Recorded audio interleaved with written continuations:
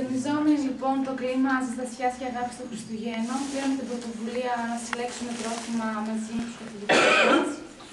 Ε, γιατί σε αυτού του δύσκολου καιρού που διανύουμε, είναι η αγάπη και η αλληλεγγύη προς τον συνάνθρωπο είναι κάτι πολύ σημαντικό. Εγώ εύχομαι καλές γιορτές, με αγάπη, υγεία και πολλά πολλά χαμόγελα. Είναι μεγάλη χαρά καθηγητών και μαθητών του Λυκείου Φιλότα που μπορεί να βοηθήσει έστω και με αυτόν τον τρόπο τους άπορου συνανθρώπου μας. Και επίσης να ευχαριστούμε πάρα πολύ την κυρία Γαλάνη που αυτή ε, πήρε την πρωτοβουλία να μαζέψει όλα αυτά τα τρόφιμα. Καλή το Σύλλογο Νέων και Δαιμόνων ε, και τους εκπροσώπους της Εκκλησίας.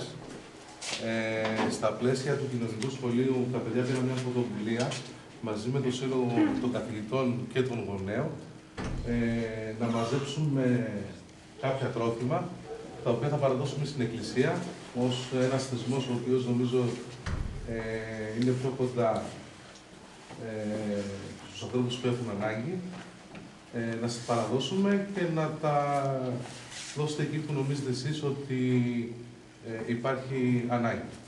Έτσι, με την ευκαιρία κιόλας ε, των Χριστουγέννων, ε, να μπορέσουμε ας πούμε, να βοηθήσουμε όσο μπορέσουμε ανθρώπους που δεν έχουν τα απαραίτητα ε, για να πορευτούν στη ζωή. Της Λεβέας, του Παιδεργού, του Φιλότα, εκφράζουμε τα θερμά μας συγχαρητήρια προς όλους εσάς που πήρατε αυτή την πρωτοβουλία να βάσετε τρόφιμα για άπορες και φτωχές οικογένειες. Επενούμε παιδιά αυτή σας την προσπάθεια και ευχόμαστε ο Θεός να σας φωτίζει, να έχετε καλή πρόοδο στα μαθήματά σας και ο νεογέννητος Χριστός που θα γιορτάσουμε αυτές τις ημέρες να γεννηθεί μέσα στις καρδιές σας, να σκηνώσει μέσα σας και να είναι κοντά σας σε κάθε βήμα της ζωής σας. Επίσης,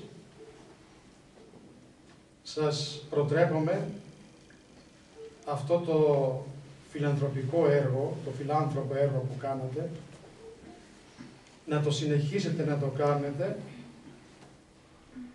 έτσι και εσείς προσφέροντας όλοι μαζί, η Εκκλησία, να βοηθήσουμε τους ανθρώπους μας που πραγματικά όχι μόνο τις Άγιες αυτές ημέρες, αλλά όλες τις ημέρες του χρόνου έχουν ανάγκη από τέτοιες, τέτοια βοήθεια, τέτοια χειρονομία. Ο συμβολικός χαρακτήρας που έχει αυτό που κάνατε είναι πολύ καλό να διαδίδεται, διότι στις δύσκολες μέρες που περνάμε και θα έρθουν ακόμα δυσκολότερες, αυτό που θα κρατήσει τον ελληνισμό είναι η αλληλεγγύη και ο εθελοντισμός.